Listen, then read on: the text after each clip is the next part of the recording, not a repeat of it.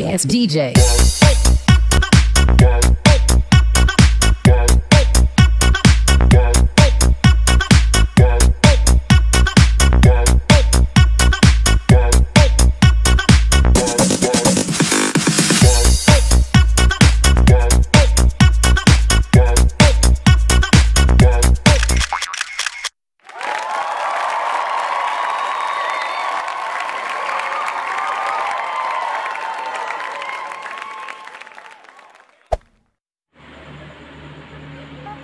So yun, what's up mga kabitoy no? So nakikita nyo ngayon to sa video to yung mga accessories na ikakabit ko kay Magenta no.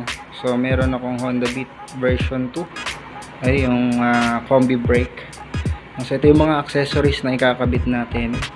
Ah, makikita nyo dito. So ah, more on golds no. So yan yung ating ikakabit.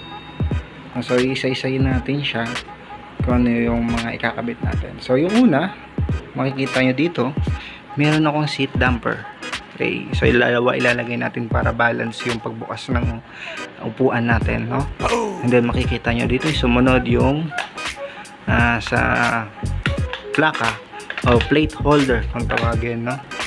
Tapos meron din yan kasama na tawag dito ah, parang fiberglass so isasama natin yan then next natin ah, yung sa coil ano oil cap and then ah, caliper cover o caliper guard tapos handle grip no ah, lever guard and then ito maganda to no? So ito yung ah, side mirror na nabili ko no two tone siya no?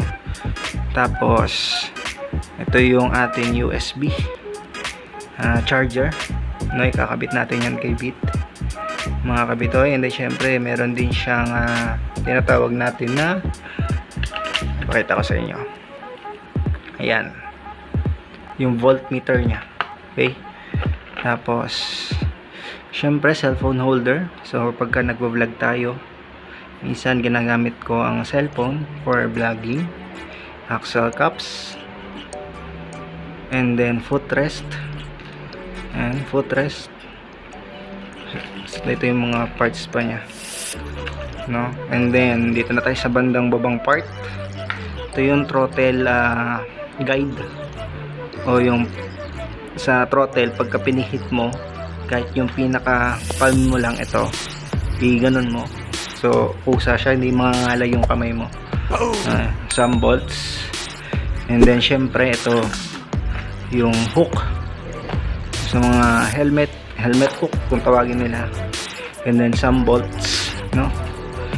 So ayan yung mga ikakabit natin. So may makikita kayong ayun sticker. Yan. So kilala nyo naman siguro yan. Isa, isa yan sa mga iniidolo kong vlogger. Siya rin nag-inspire sa akin para mag vlog and then um, thank you nga pala kay mamu sa pagpapadala niyan. Kasama yung keychain. So yung keychain kinabit ko lang din sa bag ko. No, so hindi ko na siya naisama. No? So dito lang naman. Sa mga to so makikita nyo dito kung ano yung mga ikakabit ko kay Bit. No? So mga kabitoy update ko na lang kayo mag-upload sa mga kabit ko o kinabit kong accessories kay Bit. No, so lahat naman yan Ah, yung iba dyan ah, galing kay Shopee. Shoutout kay Shopee tsaka kay Lazada. Ah, so karamihan naman dyan ah, ah, more on online. Online na selling o online shop ko siya nabili. Except dito kay side mirror. And then yung isa pa nito itong lever guard. And then yung phone holder no, yung CP holder. So yan is sa mga tao ko siya nabili So sa pricing naman niya, ang sasabihin ko na rin sa inyo. So ang pricing nito, itong seat damper, so kung sa online shopping siya bibili, more or less 100 pesos siya. So kung dalawa binili nyo, mga nasa 180 to 200 pesos. Doon siya naglalaro ng range. Tapos yung ating ah, plate holder at saka itong ah, fiber plate o yung cover no? So ito nagkakalaga lang siya ng 25 pesos sa online shopping. And then ito ah 80 pesos lang siya. So 80 pesos to 100 pesos ang range niya na Rizoma. Yan so Rizoma types. Ito si oil cup no? So ito nasa 200 pesos ito naman si caliper cover. Nagkakalaga siya ng 250 to 230 pesos na grip o handle grip. So nagkakalaga lang siya ng more or less ah, 300 no, ang range na 250 to 300 pesos. Tapos itong uh, lever guard ah, ang price nyo po is nasa 300 pesos. Ah, kung hindi siya naka-sale pero pag naka-sale siya na ah, nasa 250 lang po ata to. Basta yun yung pagkakaalala ko sa price price niya. And then ito side mirror two tone so nagkakalaga lang siya ng ah, 300 pesos to 250 dun sa naglalaro ng range. Yung USB with charger uh, voltmeter. Mura lang po yan 300 cellphone holder 280 to 300 pesos o 350 hindi naman siya yung ano yung tinatawag natin na talagang ah, cellphone holder. Pero mukhang matibay naman siya. Okay? Tapos footrest. Footrest nagkakalaga siya ng 350 to, to 400 axle caps ah, 100 pesos per pair na siya. Okay pair na. Okay? Next. Ah ito throttle ah, guide. Mga nasa 50 pesos lang to.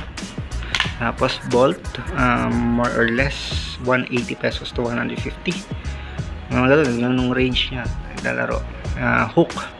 Hook helmet 150 to 100 pesos. Pero nakuha ko siya ng parang 80 pesos lang.